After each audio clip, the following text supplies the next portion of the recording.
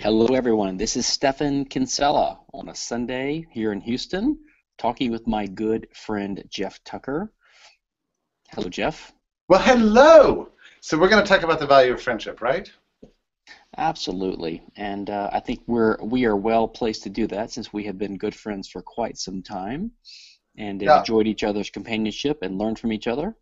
Right, and the point is that Liberty Me is a community that uh, makes friendship possible and communication possible between people, and the idea is that people can add value to each other's uh, intellectual apparatus and to each other's lives in the same sense that I've massively contributed to your own intellectual outlook.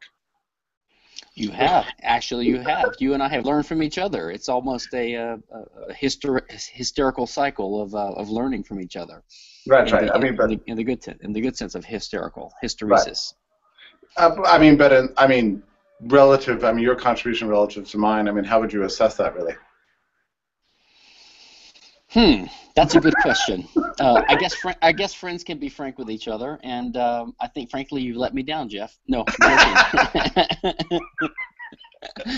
uh, no, you, uh, we we've opened each other's eyes on things, and we, we we're, we're good friends, and um, uh, you know, we were talking about Aristotle and the value of friendship just the other day on one of my many walks, and um, this is part of the purpose of life. And we also talk about something that is important: liberty and life, and the intersection of liberty with life, right? The and the idea of liberty.me is to foster uh, incorporating liberty into your life, and that's one reason I'm very excited about it.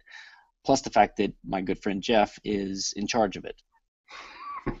I'm so glad that you're part of the community. It makes it, I mean, in many ways, it is the brainchild of, of many of our discussions. We've dreamed of this kind of community for years, right? Um, and now it's now it's possible. So thank you so much for for for agreeing to be a part of it. We're gonna we're gonna move in. Uh, I, I just want to make sure that you know I, I don't mind living in a an apartment like next to you or, or like you know in the same unit, but I just want to be as you know there should be probably a few units separating us, don't you think, within the space? I think uh, high walls make good neighbors, but I think uh, I think we need to be close, and I think that a community like this can help us be close, as close as we need to be.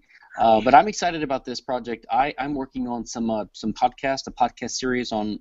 Uh, libertarianism and law, and um, and uh, how to integrate these basics into your life and your understanding. So I'm excited about that. I'm excited to see what happens, and you know the, the way this is going to make friendship possible to lots of people.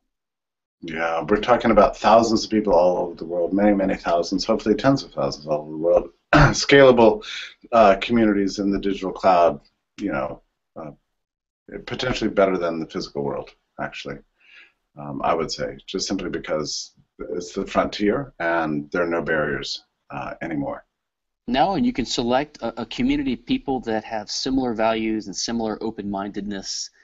Um, you know, and you, you basically increase the you, you cut down the noise, you increase the, the, the signal content a lot. Yeah, that's right. Well, thank you for being such a, a good friend and for and for, for your wonderful message here. You too, Jeff. You're, you're a really good friend, and uh, I'm looking forward to this venture. Take care.